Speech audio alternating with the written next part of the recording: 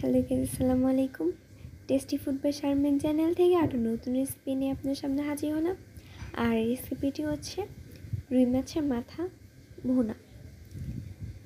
তো এই রেসিপিটি কিন্তু খুব দারুণ হতে চলেছে। আপনারা দেখলেই বুঝতে পারবেন। তো চলুন এই রেসিপিটি শুরু করা যাক। প্রথমে আমরা এখানে ইলিশ মাছের চারটা মাথা এবং একটি লেজ নিয়ে নিয়েছি। দেখতে পারছেন। এর মধ্যে এবারও মাছটি ভাজার জন্য পরিমাণ মতো হলুদ হলুদ গুঁড়ো আর লবণ দিয়ে দিচ্ছি। এবার ভালো করে মাছটার সাথে মাখিয়ে নিব। এবং চুলায় একটি হাঁড়ি বসিয়ে দিয়েছি আমরা, এর মধ্যে পরিমাণ মতো সয়াবিন তেল দিয়ে দিচ্ছি, রান্নার তেল। এখানে আমরা আমরা যে মাছটা আর কি মাখিয়ে রেখেছিলাম সেগুলোর মধ্যে দিয়ে দিচ্ছি। দিয়ে দিচ্ছি, দেখতে পাচ্ছেন? এবার আমি কিছুক্ষণ অপেক্ষা করব নিচটা ভাজা ভাজার জন্য। তো এই পাশটা ভাজা হয়ে গেছে, এবার আমরা এটা উল্টে দিচ্ছি।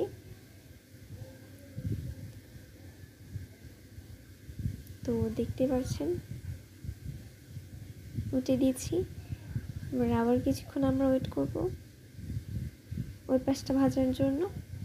ওই পাশটাও হয়ে গেছে। দেখতে পারছেন?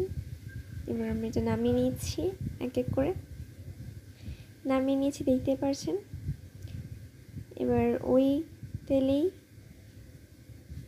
আমরা আরেকটু সয়াবিন তেল দিয়ে দিচ্ছি। এবারের মধ্যে পেঁয়াজ, রসুন আর কাঁচামরিচ আমরা একসাথে ছেঁচে রেখেছিলাম। সেটার মধ্যে দিয়ে দিচ্ছি কিছুটা পরিমাণ। দিয়ে আমরা এটা ভালো করে হালকা একটু নেড়ে নিব। নিয়ে নিয়েছি, দেখতে পাচ্ছেন কিছুক্ষণ পর এবার আমরা এর মধ্যে লবণ দিয়ে দিচ্ছি, এক চামচ। হলুদ গুঁড়ো দিয়ে দিয়ে দিচ্ছি, এক চামচ। হালকা একটু নেড়ে নিব। এবার মধ্যে জিরে গুঁড়ো দিয়ে দিচ্ছি, এক চামচ।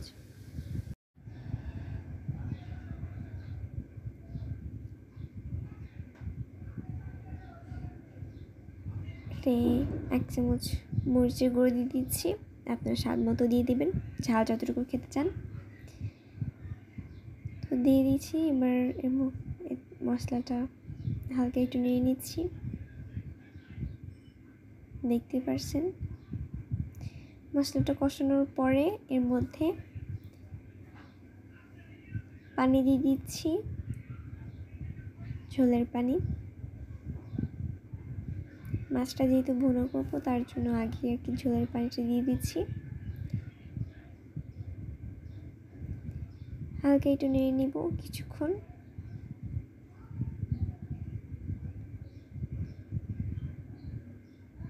যখন এই পর্যায়ে চলে আসবে, তখন হালকা একটু নেড়ে এর মধ্যে মাছগুলো দিয়ে দিব, ভাজা মাছগুলো, যেগুলো আমরা ভেজে রেখেছিলাম আগে।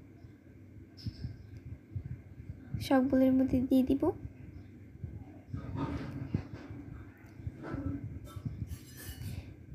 তো সবগুলো দেওয়ার পরে হালকা একটু নেড়ে চেড়ে নিচ্ছি। কিছুক্ষণ হওয়ার পরে মধ্যে গরম মশলার গুঁড়ো আর ভাজা জিরে গুঁড়ো দিয়ে দিচ্ছি। সাদার গন্ধ কিন্তু অনেক ভালো আসে এটা দিলে। এবার ভালো করে নেড়ে চিড়ে আমরা এটা নামিয়ে নিচ্ছি। নামিয়ে নিয়েছি, দেখতে পারছেন? কত সুন্দর একটা কালার এসছে, এটা খেতেও কিন্তু অনেক দারুণ লাগবে। আর আপনার বাসায় এটা অবশ্যই ট্রাই করবেন এবং রেসিপিটি আপনার কাছে কেমন লাগল সেটাই অবশ্যই কমেন্ট করে জানাবেন। এবং লাইক কমেন্ট শেয়ার করে আমাদের পাশে থাকবেন। আল্লাহ হাফিজ গাইস